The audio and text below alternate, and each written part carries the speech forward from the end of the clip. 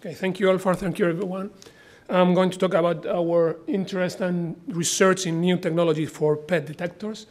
Um, we are focused and our interest is in developing new detector, new technology for PET detectors in, a, in the multimodality environment as a, with a double side. One is as a tool for, or, or as a component for industry to build new, uh, uh, new uh, systems for imaging so that can improve some of the current parameters that you can find in, in, in the market uh, or in, in other systems in the market, but also as a tool for the researcher uh, that, uh, that will allow the, the researcher to play with, um, uh, with factors that you cannot do with current uh, detector that you have today. For example, just to, to, to show one, limiting the, the dead time of your detectors to, uh, to the scintillator that can allow you to use even newer, faster scintillator and play with the time of flight and design new experiments or new paradigms how to achieve higher resolution in your system.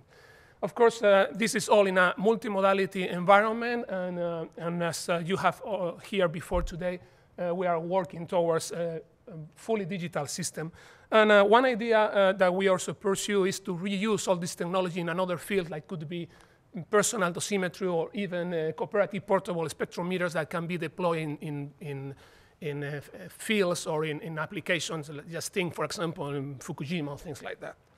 Okay, uh, our basic methodology, methodology, is very simple. We take the conventional uh, detector and we break down in the main key components, and we try to introduce break, uh, uh breakthrough technologies in, of, in, in, each of them, going from the scintillator all the way down to the back electronics that uh, uh, we, we, we are working on fully digital detectors.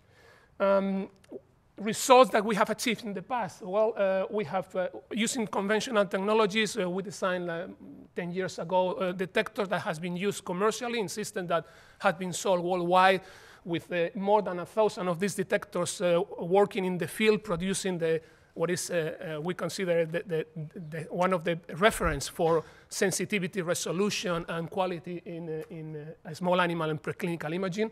And we have, uh, we have been translating that technology into the current uh, advances like using uh, silicon detectors, fully uh, uh, use, trying to integrate in the, in the back of the chip the whole thing, not only the, the, the, photo detection, but also the intelligence, trying to achieve intelligent, smart devices that will work digital from the very beginning.